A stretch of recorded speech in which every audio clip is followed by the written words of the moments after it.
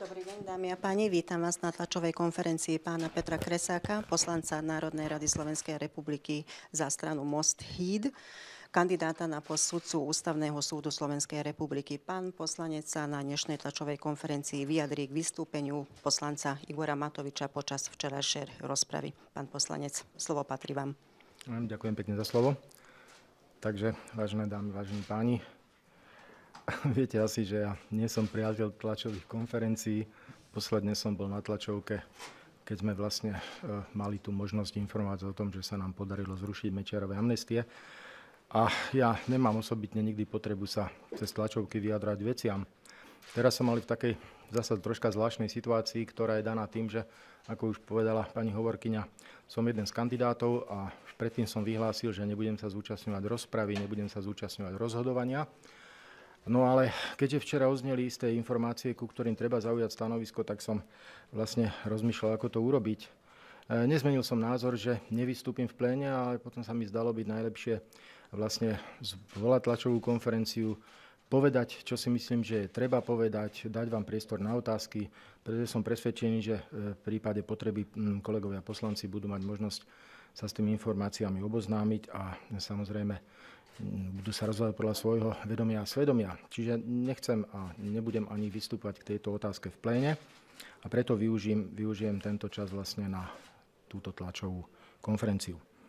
Ehm, na úvod možno iba jedno konštatovanie, že z môjho pohľadu musím povedať, že škoda, že kolega Matovič eh, nevyšiel s tým tvrdením skôr, pretože eh, bolo by viac času na vysvetlenie a ono, keď sa to vlastne zverejňuje takáto informácia tesne pred hlasovaním, tak e, človek ako nemá reálne šancu e, pozbierať všetky veci, ktoré by asi podbierať mal a mohol adekvátne reagovať.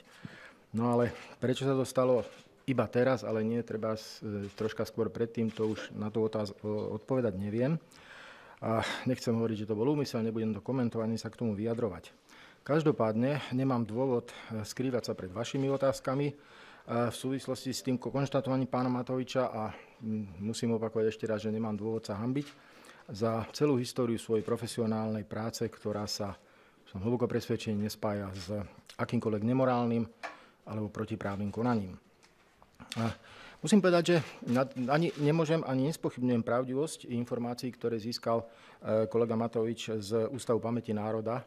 Z jednoduchého dôvodu, lebo asi všetci viete, a viem to aj ja, pretože ja som v tom období 80, 98 až 2002 práve schvaloval, alebo podielal sa na schvalovaní zákona o Ústave pamäti národa.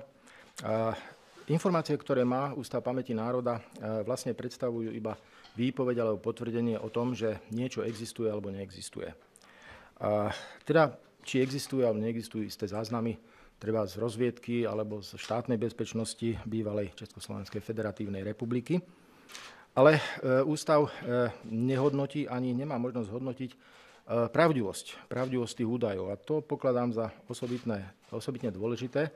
Čiže tá pravdivosť a hodnovernosť sa samozrejme potom posudzuje neskôr v prípade nesúhlasu dotknutých osôb cez súdne konania a samozrejme vy asi aj viete, že z rozličných dôvodov viaceré dokumenty sa v minulosti už ukázali ako, ako nepravdivé, čiže ich súdne orgány spochybnili, spochybnili obsah tých dokumentov.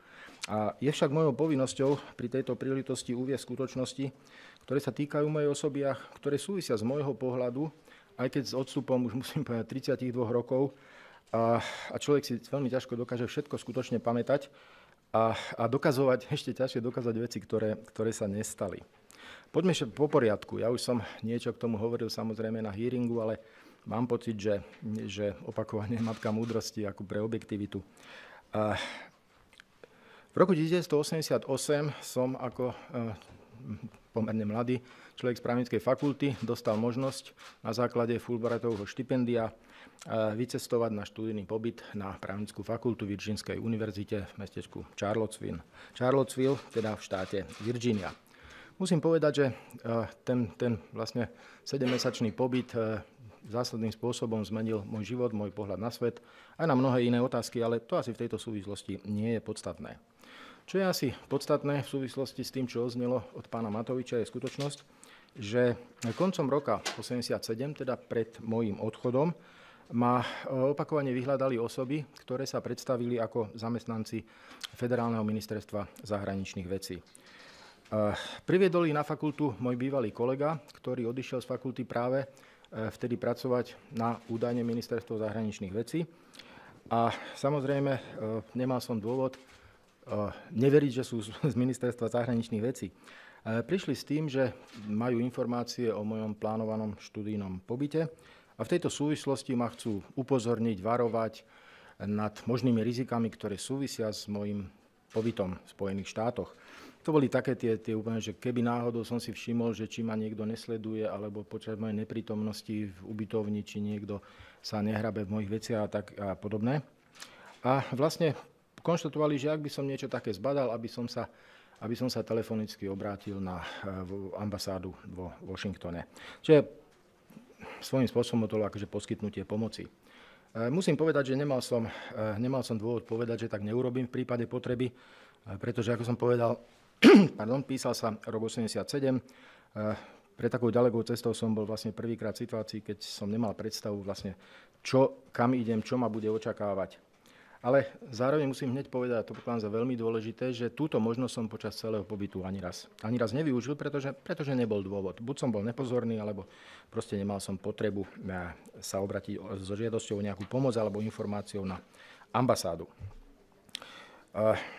Musím ale tiež povedať, že Eh, pri tých niekoľkých rozhovoroch eh, s týmito eh, ľuďmi alebo s týmito osobami som nemal pocit, alebo nemal som ani dôvod, že by nadobudnú ten pocit, že by sa jednalo o akýsi náznak ponuky na nejakú spoluprácu s rozviedkou, alebo hm, že by ma chceli lámať alebo nejakým spôsobom tlačiť do nejakej rozviednej činnosti počas môjho pobytu. Ono aj vecne musím povedať, že, že v podstate to bolo, to, to bolo nelogické, alebo to bolo pomerne hlúpe, pretože keď človek odchádza na študijný pobyt, možno ste mali viacerí tú možnosť, tak vlastne o čom je študijný pobyt? Ja som tam trávil celý čas vlastne pohybovaním sa medzi sedením v univerzitnej knižnici, štúdiom materiálov a, a, a návštev prednášok jednotlivých profesorov, ktoré som si ktoré som si mohol zvoliť. Čiže ja som ani nemal možnosť a samozrejme ani dôvod na to, aby som získal akési spravodajské informácie, pretože zasa na druhej strane, kto ste boli v Amerike, asi viete, že a najmä v profesorských kruhoch, ako ľudia sa nebavia o politike alebo nejakých veciach a, a to by mňa ani nenapadlo sa niekoho na nejaké takéto informácie pýtať. Musím povedať, že až neskôr, v roku 92, som sa dozvedel, že práve v súvislosti s tou mojou plánovanou cestou som sa už stal, alebo bol som vedený ako záujmová osoba štátnej bezpečnosti. Čo však asi viete, že vlastne takéto vedenie, nakoniec to rozhodol Ústavný súd Federácie v 92., v ktorom som sedel, že je iba dôkazom záujmu o osobu a, a samozrejme a nič ešte nedokazuje žiadnu vedomú spoluprácu. Musím povedať, že keď som sa dozvedel túto informáciu, tak vlastne môj záujem o sledovanie mojej osoby počas toho tzv. socialistického režimu v minulosti skončil. Nemal som, nemal som absolútne žiadny dôvod, aby som pátral, či, sa, či došlo k nejakému posunu. A až celkom nedávno v súvislosti s tohoročným vypočúvaním, teda s tým známym hearingom pred e, vlastne kolegami z, z ústavnoprávneho výboru, a som e, bol konfrontovaný s otázkou od kolegu Bernaťáka, budem citovať, či som v minulosti spolupracoval s nejakou tajnou alebo bezpečnostnou službou. A po tej otázke som potom, keď, som, keď vlastne hearing skončil, som začal svojím spôsobom rozmýšľať, že prečo bola táto otázka položená a k čomu smerovala. A dostal som sa k informácii, a to je pre mňa tiež veľmi, veľmi čerstvé, pretože skutočne som o tom nemal predtým žiadnu vedomosť, že e, v roku 88, ale musím povedať paradoxne, už počas môjho pobytu v Spojených štátoch, vlastne rozviedka podala návrh na e, moje zaevidovanie ako tzv. oni to nazvali, tuším, ideologický spolupracovník. O existencii tohto som samozrejme nemal, nemal ani poňatia a vôbec som to nevedel, ani to dnes neviem vyhodnotiť, pretože ja sa v tých štruktúrách, priznám sa, teda ozaj nevyznám. No a teraz vznikla taká otázka, že keď som získal túto informáciu, tak si hovorím, že dočertanú, je, je, je vôbec možné z mojej strany preukázať, že, že táto skutočnosť nie je pravdivá? A ako to preukázať? Pretože keď, keďže viem, a samozrejme môžem, môžem, môžem uh, potvrdiť opakovane, že som nespolupracoval žiadnym spôsobom ako nejaký ideologický spolupracovník pred svojho pobytu, Tak teraz ako dokázať, že sa, že sa niečo nestalo? A, totiž to, ako nie, nie je tiež žiadnym tajomstvom, a vy to viete, že už sa opakovane preukázalo, že v minulosti tá štátna bezpečnosť a niektorí jej pracovníci v snahe, v snahe preukázať svoju aktivitu, svoju šikovnosť, e, klamali. Klamali svojich nadriadených, uvádzali, uvádzali veci, e, ktoré nie sú pravdivé, iba preto, aby získali finančný buď finančnú odmenu alebo nejaký osobnostný rast. E, začalo to už tým, že vlastne za mňou prišli tí ľudia, ale to hovorím teraz spätne s tou vedomosťou z roku 92, ktorí prišli ako zamestnanci a pracovníci ministerstva zahraničných vecí neprišli ako pracovníci, ktorí sú z, nejakých, z nejakej zložky, zložky bezpečnosti. No, teraz však ale poďme ešte, čo pokladám tiež sa potrebné, e, k tomu, čo som v stave preukázať dnes, čo, čo hovorí o tom, že vlastne tie údaje neboli pravdivé a že vlastne e, ten spis bol založený bez môjho, bez môjho vedomia. A veľa, veľa toho preukázať samozrejme s tým odstupom času nemôžem, ale niečo, niečo predsa len.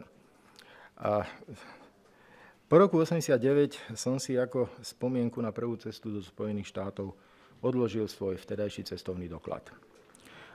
Súčasťou toho cestovného dokladu, ktorého kópiu vám e, predložím, e, boli aj americké a kanadské víza, ktoré boli v tom čase potrebné na cestu do USA. A osobitne upozorňujem na kanadské víza, pretože vtedy sa lietalo tými vlastne ruskými alebo sovietskými lietadlami, to boli tuším Tu-164, tam mali poviem veľkú spotrebu a nedalo sa letieť z Prahy do Spojených štátov naraz. Muselo sa tankovať v Kanade. A kvôli tomu tie kanadské víza. Ale prečo to spomínam? Ja to to v mojom pase som našiel a sa mi potvrdilo to, čo som si pamätal, že vlastne mám kanadské, dostal som kanadské vízum, ktoré platilo do 7. januára 2000, vlastne 1988 a teda do dátumu, keď som musel vycestovať. A ja som si pamätala, vlastne tie víza mi to potvrdili, že ja som tesne vlastne po novom roku odlietal, bolo to, ja presvedčený, že to bolo 5. 5. januára, pokiaľ si teda presne pamätám. A vrátil som sa niekedy v polovičke augusta, pretože vlastne počas toho pobytu som požiadal americkú vládu o predlženie o jeden mesiac, vzhľadom na to, že som potreboval ešte dokončiť niektoré materiály, ktoré som tam začal študovať a spisovať si, proste chystať sa na e, svoj ďalší e, pedagogický proces a na, na ďalšiu publikačnú činnosť. No, napriek tomu som však v evidenčnom liste údajov e, štátnej bezpečnosti, alebo teda rozviedky, som vlastne objavil celý rad dátumov stretnutí, ktoré sa mali so mnou odohrať v časoch, keď som bol už dávno v Spojených štátoch. Čiže ja to nemôžem ináč hodnotiť ako jeden z jasných dôkazov toho, že tie údaje boli falšované, že neboli pravdivé. Tiež vám dám k dispozícii tento záznam. Jedná sa o, či už sa jedná o 22. marec, 6. január, 18. maj, 7. júl. Boli všetko údaje, keď títo páni vlastne e, preukazovali svojim nadriadeným, že sa so mnou stretli na, na, na československom území a dokonca si samozrejme za tie schôdzky účtovali nejaké, účtovali nejaké peniaze. Ide teda zjavne o nepravdivé údaje. A musím povedať teda jedny z nepravdivých údajov, ktoré môžem preukázať a ktoré hovoria o tom, že vlastne ten spis bol založený na základe nepravdy. Rovnako sa nachádzajú v tom materiáli aj ďalšie údaje, ktoré nie sú pravdivé a ktoré sa týkajú môjho e, osobného života, ktoré vyplývajú z sledovania mojej vteda, vtedajšieho sledovania mojej osoby. Sú tam napríklad údaje o vlastníctve motorového vozidla, ktorý som nikdy nemal, o spoluvlastníctve nehnuteľného majetku, ktorý som nikdy nemal, čo sa tiež dá samozrejme preukázať. A dokonca aj o miestach môjho údajného pôsobenia v Spojených štátoch. Konkrétne sa tam píše, že som mal navštíviť Harvard a študovať v Harvarde a v Berkeley. Nič to nie, z toho nie je pravda. Ja som celý ten čas aj plánovane, ale aj reálne strávil v, Charlotte, v mestecku Charlottesville vo Virginii. Čo, čo teda dodať na záver? Eh, možno iba otázku, ktorú, ktorú si ja musím klásť a ktorú, na ktorú aj vy sa môžete pý, regulérne pýtať, ale na ktorú nemôžem viac odpovedať, že iba tá otázka, akú výpovednú hodnotu má dokument, ktorý ma eh, označuje za eh, kandidáta na, alebo na, za, za ideového spolupracovníka, ktorý obsahuje takéto množstvo nepravdivých údajov. Dá sa, dá sa tomu veriť? Ja v tomto momente nemám inú možnosť, Samozrejme, e, bežná prax, a mohli by sa pýtať, že budem sa súdiť s Ústavom pamäti národa.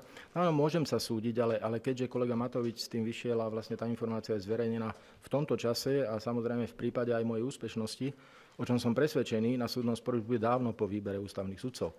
Tak z toho dôvodu samozrejme to v tomto momente nemá pre mňa žiaden reálny význam a preto som si povedal, že radšej, radšej budem e, voliť informovanosť verejnosti prostredníctvom médií o údajoch, ktoré viem potvrdiť a ktoré, ktoré sú hodnoverné, aby som vyvrátil e, tie nepravdivé údaje, ktoré obsahuje ten zavedený kvázi spis o, o mne.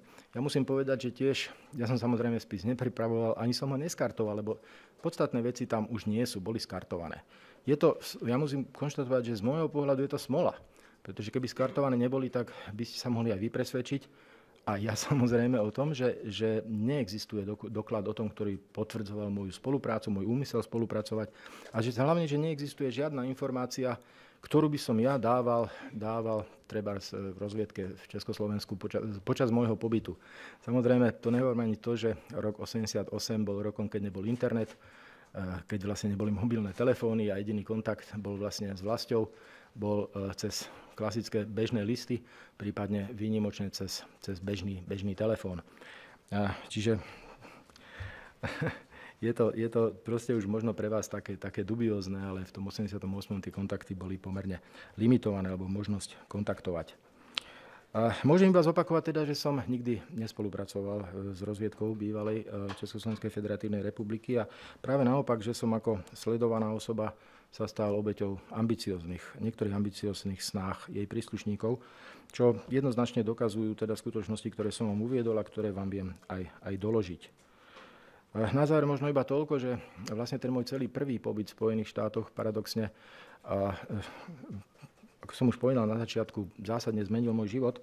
Využil som ho na nadviazanie dlhodobých kontaktov s významnými profesormi ústavného práva s viacerými fakultami a reakciou na to je, čo sa tiež ľahko doložiť, je, vlastne to množstvo prednáškových a študijných pobytov, ktoré, na ktoré som sa mal možnosť zúčastniť na základe pozvania americkej strany pretože ja som v Spojených štátoch pôsobil potom následne veľakrát. A samozrejme aj tých ľudí, ktorých som poznal, tí ľudia potom prišli do Československa, podielali sa, podielali sa v roku 89 a v roku 90 na reformách, radili, radili eh, vtedajšej eh, politickej reprezentácii, ako prebudovať ten bývalý socialistický štát na demokratický štát. A samozrejme, musím povedať znova, že uplynulých 30 rokov mojej profesionálnej činnosti nehambím sa za ne a môže vám ktokoľvek potvrdiť, ako som pôsobil. Ako som pôsobil či už vo verejnom živote, ale ako som pôsobil ako pedagóg na právnickej, na právnickej fakulte. To sú tisíce študentov, ktorí vedia, že som bol prísny, ale vedia, že som nebol ideológ a vedia, že som fungoval ako ľudská bytosť a vedel som pochopiť všetky ich problémy. Čiže eh, nikdy nikoho nenapadlo obviniť ma z, z nejakej žiadnej spravodajskej alebo inej protiprávnej činnosti o ktorej nemohli existovať žiadne relevantné záznamy. A toľko možno teda na úvod, asi v tomto momente vám nepoviem viac než toto úprimné význanie môjho videnia sveta a samozrejme som otvorený pre vaše otázky. Ďakujem Prvá pekne. otázka patrí teatri, nech sa páči. Dobrý deň, Hanna Džu na teatri. Matovič to aj v, tej, v, svoje, v tom vystúpení povedal, že ten váš spis bol skartovaný, ale povedal, mm. že podvesky existujú v archíve v Prahe, že si ich bude chcieť vyžiadať. Vy ste mm. sa mhm. snažili k ním dostať? Snažil som sa k ním dostať a e, obdržal som vlastne tie materiály z Ústavy pamäti národa, čiže dá sa k ním dostať. To akože sú, e, dá, sú to verejné dokumenty už dnes, takže ja som aj na základe práve týchto informácií e, zistil to, čo som vám pred chvíľočkou povedal, že sú tam informácie, ktoré proste nie sú pravdivé. A hovorím, vďaka tomu, že som si uchoval napríklad ten cestovný doklad, tak vám môžem preukázať, že fakt tam veľa informácií nesedí. Vy ste povedali, že sa k tomu nechcete vyjadrovať, že prečo Matovič teraz s tým prišiel, ale predsa len označil vás za jedného z najväčších odborníkov. Na druhej strane hovorí, že z morálneho hľadiska by ste nemali kandidovať. Dokonca aj vyzval poslancov, aby za vás nehlasovali. Prečo si myslíte, že vás chce takto zdiskreditovať? na, to, na to vám skutočne neviem odpovedať. Uh, ja si myslím, že ten môj, ten môj vlastne život od roku 90 alebo dokonca aj od roku 89 dokladuje, a či som alebo aký som. Uh, samozrejme, nechcem to hodnotiť politicky, lebo iste mi dáte za pravdu, že ja som sa, napriek tomu, že som akože politik, ale v, v tých politických vodách som sa nikdy dobre necítil a vždy som sa snažil skôr, skôr pristúpať k otázkam odborne. E, neviem, možno majú iných kandidátov, možno majú iné preferencie, neviem.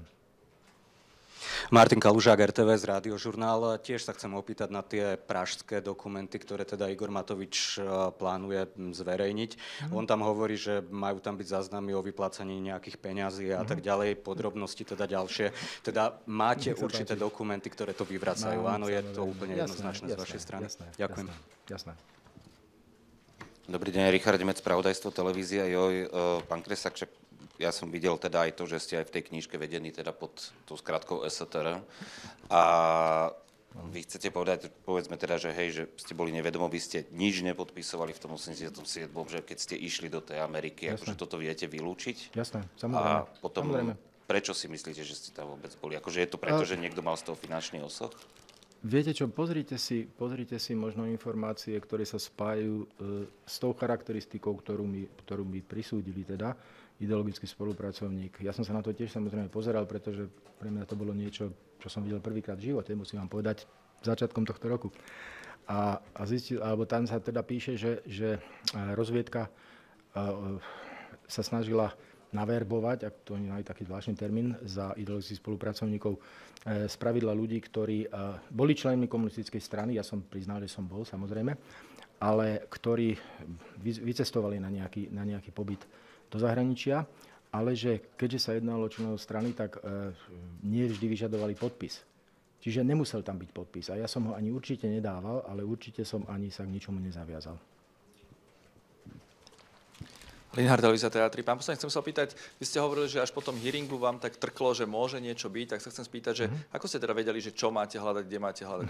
Ja som nevedel, Ako ste sa dostali k týmto informáciám? Ja som nevedel, čo mám hľadať, ale existuje, existuje portál, však on je verejne prístupný pre vás, kde sa dá cez, lebo hovorím, ja som bol ako sledovaná osoba vedený, tak cez tú sledovanú osobu sa dá dostať k ďalším údajom o tej sledovanej osobe. Takže týmto spôsobom. Hanzelova denník sme. Uh, pán Kresak, teda podľa toho precedensu, čo pán Babiš mal, tak sa už nemôže človek súdiť s ústavom pamäti národa, ale z ministerstva vnútra, čiže vy sa budete súdiť, aby, aby teda vyšlo na že ako to je? Asi by, som, asi by som bol nerád, keby ste mňa porovnávali s pánom Babišom. To som vôbec nechcela povedať, len že on zmenil to, že nemôžete žalovať ústav pamäti Ja som ešte nemal čas správne rozmýšľať, ale iste sa, je veľa prípadov, ako som pomýdal, keď, keď e, ľudia dokázali cez súdne rozhodnutie preukázať, že záznamy, ktoré sú u nich vedené, nie sú pravdivé. Ja v tomto momente ešte raz som povedal, nerozmýšľal som o tom aj z toho dôvodu, že e, keďže sme pred hlasovaním, Národná rada aj pred hlasovaním, tak ja keď za pol roka, za rok e, sa mi podarí preukázať, že vlastne tie údaje nie sú práve, alebo že boli sfalšované, tak vlastne už to nebude mať vplyv na hlasovanie. Čiže e, pre mňa je momentálne dôležité to, aby som vysvetlil svoj postoj a samozrejme nech sa kolegovia a poslanci rozhodujú podľa svojho vedomia a svedomia. Ale bude veľa záležiť na tom, ako vy budete informovať o tejto tlačovej besede, pretože nebudem to opakovať pred poslancami, ešte raz hovorím, pretože nechcem byť obvinený z nejakej výhody. Čak, môžu si to aj pozrieť online, ale Jasné. E, ešte jednu otázku mám. My sme včera teda boli na tom výbore, z ktorého ste vy odišli. Vy ste celý čas hovorili, že nechcete hlasovať, aby ste neovplyvnili za tú voľbu. A poslankyňa Šarkozy včera povedala ako obranu, že prečo teda hlasovala aj za, že vy ste jej to poradili. A že teda je to aj váš právny názor, že Robert Fico splňa... Teda, ja iba komunikujem, čo ona povedala. Ja som nebol, nebol pri tom jej vyjadrení, neviem, ale samozrejme pani Šarkozy sa rozhodovala podľa svojho vedomia a svedomia. Ja sa k tomu nemôžem hlásiť. No, ona povedala, že to bolo na, že, že vy ste povedali, že, že s tým súhlasíte, že má hlasovať za. E, ona sa ma pýtala, ako by som hodnotil niektoré skutočnosti a ja som jej povedal, ako by som ich hodnotil, ale teraz vám nepoviem, či som povedal tak alebo tak.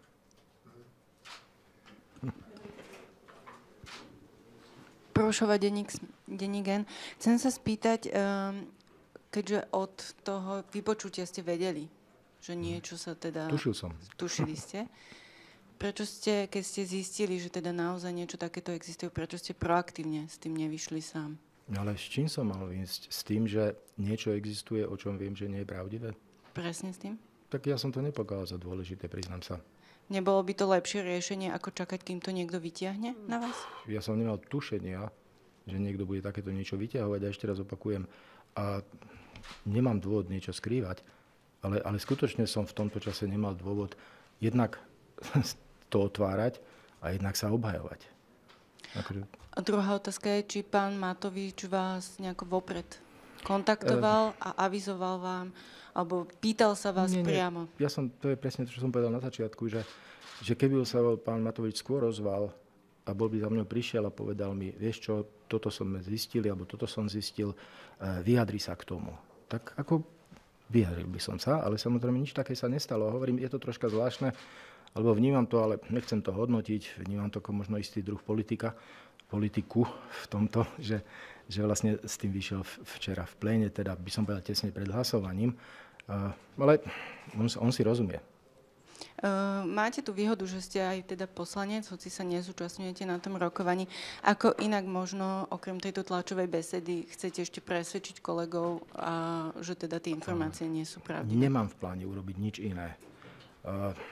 Čo môžem urobiť, pretože viem, že vy ste ako novinárska obec veľmi kritickí a viete dávať nepríjemné otázky. Dám sa, dávam sa vám šanc, snažím sa úprimne odpovedať na všetko, čo viem a môžem si vám myslieť, že poslanci, ktorí budú mať záujem sa dozvedieť aj druhú stranu, lebo, lebo aj to staré latinské hovorí, že vždy si vypočujú druhú stranu, že budú tomu venovať pozornosť. Ale ako som povedal, ne, nepokladal by som za spravodlivé, aby som zneužil funkciu poslanca a prišiel do pléna a teraz začal vysvetľovať poslancom, pretože ešte raz opakujem, viacerí z kandidátov boli rôznym spôsobom, ešte zrejme aj budú, taká je tá rozpráva v pléne, nejakým spôsobom napádané, bude niečo vytýkané a oni nebudú mať šancu prísť. Tak by som nepokladal za férové, keby som ja mal takúto možnosť. Majerová RTVS, od toho včerajšieho dňa vás teda nikto z poslancov ani mimo pléna neoslovil? Nie. Nepožiadalo vysvetlenie? Nie. Pán poslanec a, kandidát na ústavného sudcu, vy patríte medzi tých kandidátov, ktorých teda ja osobne by som e, videl ďaleko radšej ako iných na ústavnom súde. Ja vám ďakujem pekne, pán Korda. No, Však, dobre. Tá vaša obhajoba z toho, čo ste tu predvedli, vlastne spočíva vo veľmi takej primitívnej argumentácii, že tie eštebásy si vymýšľali, to používa úplne každý, že ste nikto nič nepodpísali, hm? tým vás neobvinujem z toho, že ste to urobili, ale zdá sa mi tá argumentácia taká e, trošku prudká. Hm? A je jasné, že nemôžete sa brániť tomu teraz určite. Môžem sa brániť predložením tých dokumentov. Jasné. No. Však ako... A vy ste to celé tie roky nešípili? Nie. Nie, úprimne hovorím a opakujem.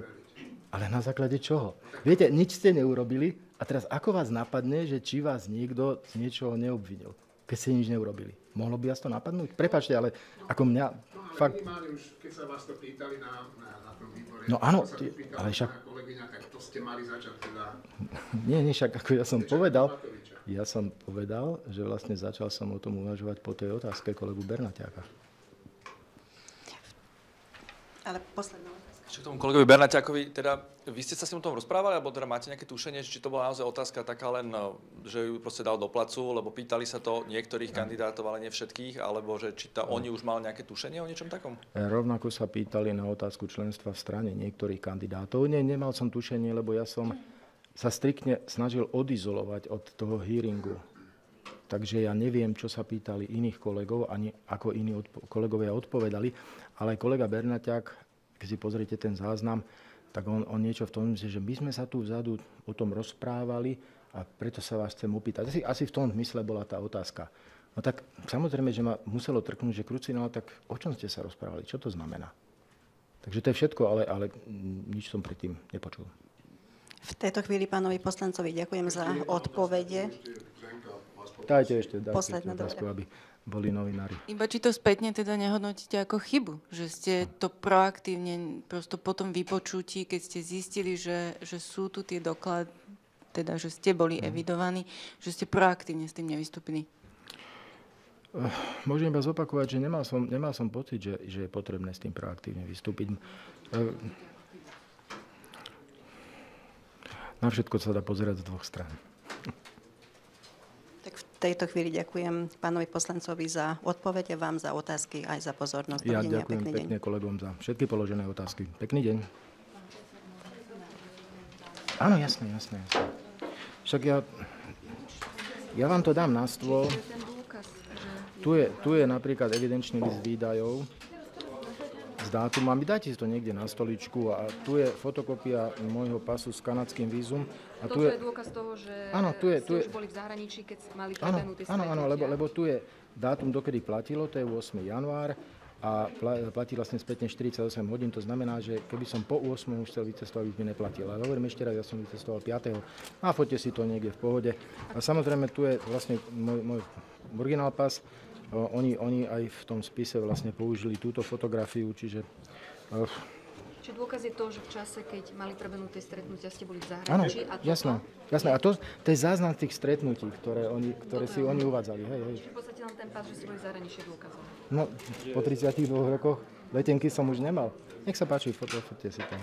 A môžem sa opýtať, prečo ste vlastne na tom výbore to nevysvetlili týmto spôsobom, ako teraz na